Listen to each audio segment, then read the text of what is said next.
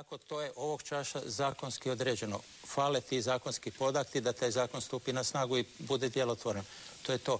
Međutim, ja ponovo kažem, mi bi trebali kao Hrvati, kao, kao ne znam, sa, ako imamo i malo patriotizma, razmisliti čemu i zašto mi to radimo ako imamo predivnu zemlju koja je nezasijana, koja može proizvesti hranu ne samo za nas, nego i za jedan dio Europe, zašto da mi uvozimo ne, nečku hranu upitne vrijednosti. Hvala vam. E, imamo i pitanje koje su e, stigla e, elektroničkom poštom, pa molim našu režiju da odgovorimo i na ta pitanja uz pitanja naših gledatelja.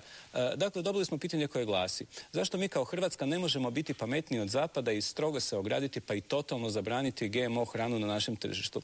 Svi znamo da će za deseta godina Zapad zlatom plaćati prirodnu hranu koju naša zemlja može proizvesti u izobilju. Netko očito ima jako dobre interese da se GMO proizvodi uvedu na mala vrata u Hrvatsku. Evo, gospodine Kučan, pitanje zabrana GMO-a generalno u Hrvatskoj, da ili ne?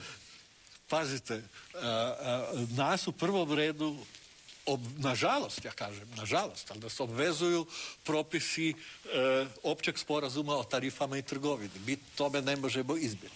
Ako želimo u Europsku uniju, onda izgleda da ćemo morati progutati jednostavno i propise Europske unije. Kao ove o GMO, tako recimo, ajde, propise o zaštiti močvarnih područja i migratornih ptica.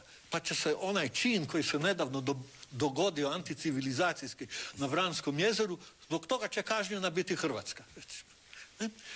Da, Europa nam nosi svašta što mi želimo i što ne želimo.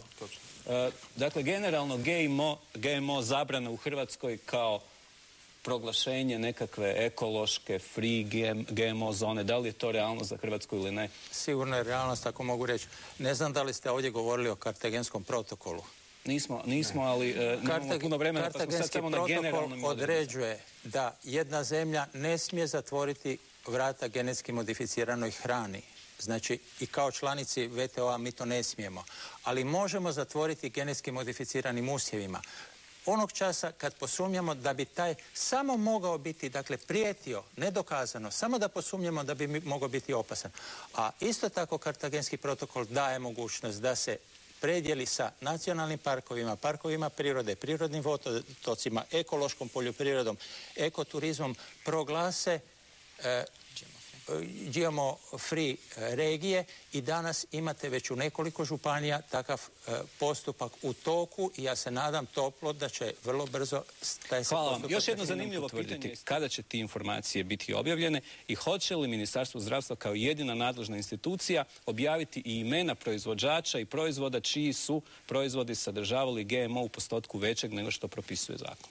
Da, ja vam ne mogu reći točno da li će to biti sutra ili prek sutra ili će biti za dva dana ali bit će, bit će objavljeno čim kompleks rezultata stigne i čim bude utvrđena objektivna istina o tim nalazima. Hvala vam puno, hvala vam što ste gledali uh, forum. Uh, prije samog kraja još jedan demanti na prošlu emisiju. Hvala vam što ste bili s nama, gledajte nas i idućeg tjedna.